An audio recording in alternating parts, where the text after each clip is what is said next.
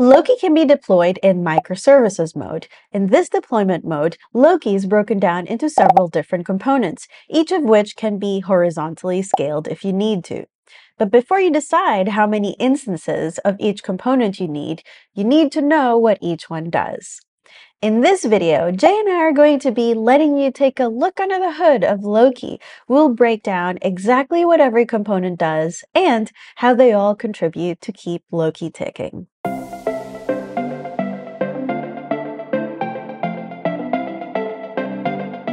To ground our components in a real-world example, we'll use a log processing facility, treating our virtual logs as real-world logs. We will tie each of Loki's components to part of the processing line. Logs will arrive at the facility, be processed and stored within a warehouse, before customer requests come in to retrieve those logs. So let's start with the components that make up the ingestion process. Whether collected via a collector, SDK, or API, our logs arrive at the door of our log processing facility. This is where our first component, the distributor, kicks in. When lorries of logs arrive, the distributor is our first point of quality control, making sure our logs arrive as expected with no nasty surprises. It also ensures that logs comply with a tenant or global limit set within the Loki config. Essentially, the site manager may employ rules to protect the performance of the facility. For example, the lorry can only drop off a maximum number of logs at a time, also known as batching, and the logs must not exceed a certain length. After validation, the distributor then distributes these logs to our next component, the ingesters. This is done via a hash ring. Hang on, Jay. Let's talk about what a hash ring is. You can think of a hash ring as a group of instances of the same type of component. Information in the form of log lines comes to this hash ring rather than to specific instances. Then an algorithm is applied to determine exactly which instance gets that information. That way, if one of the instances falls off or a new one joins, then the flow of data proceeds with minimal disruption. So you can kind of think of a hash ring as a load balancer, except that a load balancer typically distributes incoming requests or traffic, whereas a hash ring distributes data. Okay, Jay, now tell us exactly how this algorithm works. In our case, ingesters join the hash ring indicating that they are ready to receive logs. We'll discuss exactly what ingesters are next, but for now, imagine an ingester as a production line of debarking and sawing machines. Let's say that we have three of these production lines with unique IDs 0, 25, and 50.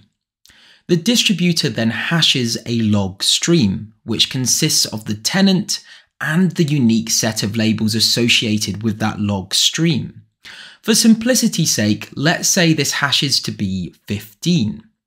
Based on the hash ring rules, the log stream will be allocated to the production line with the smallest token larger than the log stream hash, which means production line 25 would get the logs. Now, we need to stretch our imagination a little bit. Like most distributed databases, Loki supports replication. Distributors send the same log stream to multiple ingesters to mitigate data loss, should one of the ingesters fail. Imagine our log processing plant has a cloning machine that replicates logs according to the replication factor. The hash circle rule applies to the first ingester, but then we move to the next highest available ingester based on the replication value. With a replication factor of 3, our log stream of 15 would go to ingester 25 like it did before, but then to 50 and then back to 0 to complete the replication. Note that with replication, a quorum of successful writes is needed. For instance, a replication factor of 3 requires 2 out of 3 ingesters to process the log successfully. Otherwise, the write fails and an error is returned to the distributors. A load balancer is necessary to properly balance incoming traffic to each distributor. In a Kubernetes deployment, this is managed by the Kubernetes Service Load Balancer. Distributors are stateless components, making it easy for them to scale and offload as much as possible from ingesters. After quality control, our logs arrive at the ingesters, one of the most critical components of our Loki architecture. As we mentioned earlier, imagine an ingester like a production line of debarking and sawing machines. They remove the bark and cut the logs into manageable pieces, preparing them for further processing and storage. Essentially, where we remove the metadata from the log payload and create our index and chunks. Ingesters have four modes when they join the hash ring joining, active, leaving, and unhealthy. When a batch of logs arrive, the ingester creates or updates a data format type called chunk. Chunks are containers for logs that are associated with a specific log stream. In our scenario, you can imagine all of the logs have a label key called wood type. So the logs with the wood type pine are processed into the same chunk, and those of type oak are processed into a different chunk. Chunks eventually turn read only, compressed, and then written to object storage. This happens when the current chunk has reached its capacity, or too much time has passed, or when a flush occurs. A flush is a mechanism for pushing all of the chunks into object storage, essentially clearing out the entire production line. Flushes also have their own specific conditions for being triggered, such as a time interval or when the number of chunks has reached capacity. When logs are flushed, they are bundled up and assigned a unique hash barcode, comprising of the log's label, start time, end time, and the content checksum. Now, imagine a scenario where an ingester breaks down all data that hasn't been flushed could be lost. This is why replication is crucial for Loki's durability. However, to further safeguard against data loss, Loki uses a write ahead log. The WAL acts like a safety net, recording every log entry as it arrives. This log is stored on the ingester's local file system, ensuring that even if the ingester crashes, the data can be recovered upon a restart. The ingester essentially replays the WAL to restore all acknowledged logs before resuming normal operations. When using replication, it is worth noting that Loki has deduplication mechanisms that allow ingesters to sync. This synchronization allows them to process and cut chunks simultaneously. When all three replicas have identical data, the chunks will be exactly the same, ensuring that only one copy of the chunk is written to the object store. However, in the case that one of the ingesters is failing, then clones of the same log chunks can be written to the object store. These clones are deduplicated at query time. Talking of queries, Nicole, do you want to talk us through the query components? Sure, Jay. At this point, we have our logs nicely cut up and waiting for us. Now it's time to actually use them. When we want to retrieve logs, or at least parts of those logs, we do a type of structured search that's called a query. These queries can be pretty resource intensive because you can imagine it would be really difficult to look through every single log for something that you're looking for. Now, in this section, we're going to talk about three different components of Loki that all have to do with making this process more efficient. The query front end, the query scheduler, and the querier. It's worth noting, though, that the query front end and scheduler are optional components. Only the querier is technically required for Loki to function. However, we're going to be assuming that all three are deployed in this example.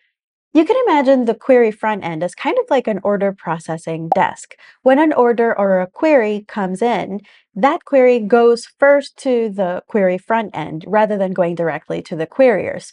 The query front end then compiles a queue of all of these orders that have come in, waiting for the queriers to work on them.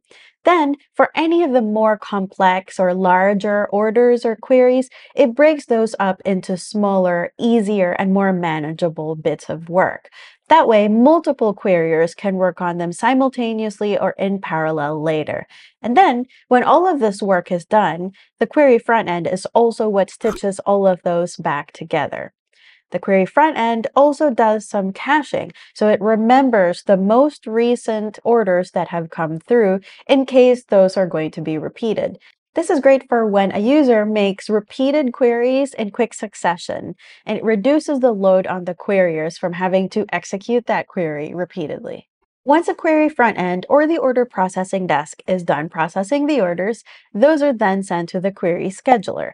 The query scheduler is kind of like a production scheduler in that it maintains a production queue. The scheduler is what assigns jobs to those queriers. Both the query front end and query scheduler are stateless components, but because of the in-memory queue, we do recommend that you have more than one replica of each for high availability. About two each should be sufficient for most cases. Now for the workers on the query side, the queriers. After the query scheduler has this queue of all of the jobs that need to be done, the queriers go to the scheduler and get assigned some jobs. Once assigned, those queriers actually execute the log query language or logql queries. They're the ones that are kind of like the cutting and shaping machines in our facility in the real world example we have.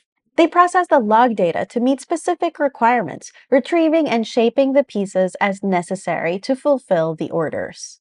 Interestingly, when a querier is looking for logs to fill a job, it doesn't go to the object storage first. Instead, it goes through the in-memory data of the ingesters beforehand.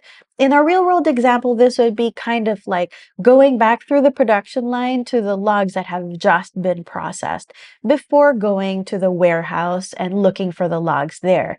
This improves the performance and efficiency of how Loki returns queries by quite a bit. Now, earlier, Jay was talking about what happens when an ingester fails and how sometimes we can end up with duplicate logs. This is when the secondary role of queriers come in. Queriers also internally deduplicate data, which means that when a log comes through them, they look at things like the timestamp to the nanosecond, the log message, and the label set. And if all of those things match for more than one log, then it will delete everything but one. That way, we don't ever have exactly the same log to the nanosecond, and we only keep the ones that are unique. We have now covered both the read and write path components of Loki. However, we are not quite done. Some of the components operate in the background and serve automation roles. Let's take a look. Starting off, we have the index gateway, which you can imagine as the inventory management system. It keeps track of all of the processed log pieces. It is responsible for handling and serving metadata queries. Metadata queries look up the data from the index. For instance, the query front-end components request the estimated log volume to decide on how to shard user queries. The queriers also request chunk references for a given query through the index gateway, so they know which chunks to fetch. Index gateways can run in two modes. Simple, meaning all index gateways are available for all tenants, and ring, which uses a similar mechanism to the ingester's hash ring. I'm now going to hot potato you back to Nicole to explain what the compactor is. Uh, thanks, Jay, I guess. The compactor in Grafana Loki is kind of like a system that organizes and compresses the inventory records of a facility. What it's actually compacting are index files. So what it does is it downloads those index files that the ingesters made and put into object storage. Then it merges all of them into one big index file. It uploads that back to object storage and then it deletes all of those other separate index files. So it's doing a lot of tidying up. The secondary role of the compactor is in log retention and deletion. We'll cover those in another video later, but for now, think of it as clearing out those logs that are past their sell-by date or just removing logs that a customer no longer wants in their warehouse. Next up is the ruler. The ruler is an interesting component. It's like the quality control department. It monitors the stored logs in two ways. The first is alerting. We will expand on this in another video, but for now know that alerting rules allow you to define alert conditions based on logql and send notifications about firing alerts to an external service. For instance, we might see a high intake of logs containing the log level error that we might want to know about. The second role is recording rules. Recording rules allow you to run intensive metric queries over your log data at given intervals. For example, they can give you the current percentage of each log level over the last day. These metrics are pushed into a time series database like Prometheus, so they can be retrieved by Grafana. This reduces the overall load on Loki for costly queries, as these long range queries have pre calculated results that can be called upon from this independent metrics store. Much like our log warehouse keeping a database of current inventory statistics. The ruler stores its rule list within object storage and is interacted via an API. And with that, Nicole, I think we are there. As you can see, Loki is a complex machine with many components and moving parts, working together to provide an efficient log collection, storage, and query solution. Understanding these components and how they interact is crucial for deploying and scaling Loki. In our upcoming videos, we will dive into your first Helm deployment including the three ways you can deploy Loki.